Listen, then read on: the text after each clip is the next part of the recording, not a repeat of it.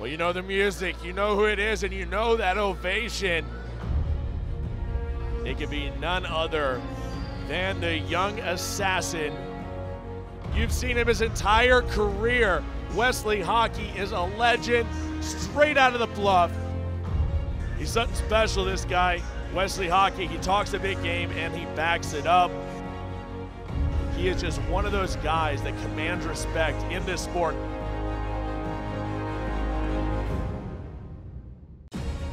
You know, I've been doing this for, she's like 10 years. I think most of the guys here were still wet behind the ears. The passion's my drive when it comes to my fighting. I live for family now. My time is all for my wife and two kids. I live for my business.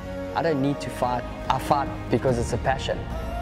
It's still an honor to be with him in the corner because it feels like I'm fighting, you know. what